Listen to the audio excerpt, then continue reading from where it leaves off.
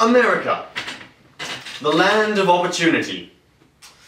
A place where both strippers and Disney stars have an equal right to be called Hannah Montana. But how did this fantastic place begin, you may ask? Well, that's a very good question, Johnny. Let's have a history lesson to find out.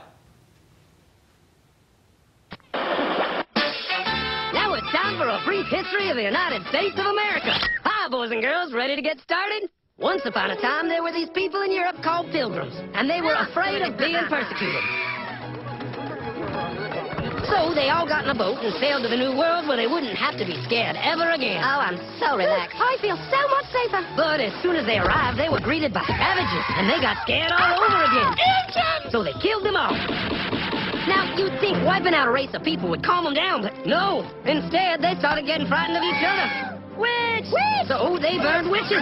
In 1775, they started killing the British so they could be free. And it worked. But they still didn't feel safe. So they passed a Second Amendment which said every white man could keep his gun. I loves my gun. Loves my gun. Which brings us to the genius idea of slavery. You see, boys and girls, the white people back then were also afraid of doing any work. So they went to Africa, kidnapped thousands of black people, brought them back to America, and forced them to work very hard for no money. And I don't mean no money like I work at Walmart and make no money. I mean zero dollars. Nothing. Not a zip. Doing it that way made the USA the richest country in the world.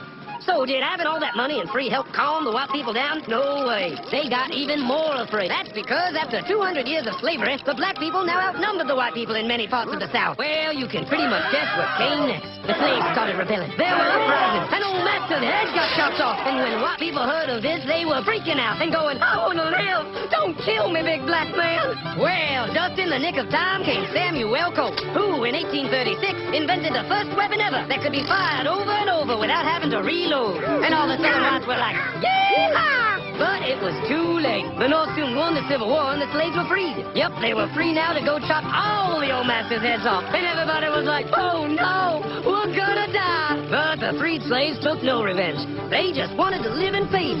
But you couldn't convince the white people of this. So they formed the Ku Klux Klan. And in 1871, the same year the Klan became an illegal terrorist organization, another group was founded, the National Rifle Association.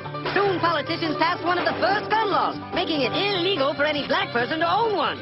It was a great year for America, the KKK and the NRA. Of course, they had nothing to do with each other, and this was just a coincidence. One group legally promoted responsible gun ownership, and the other group shot and lynched black people.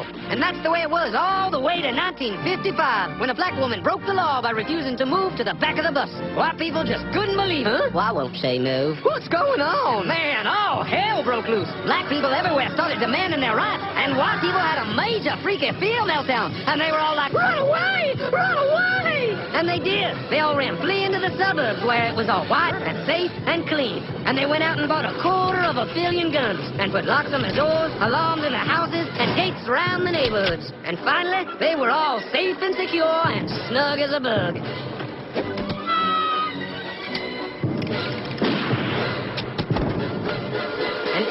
Everyone lived happily ever after.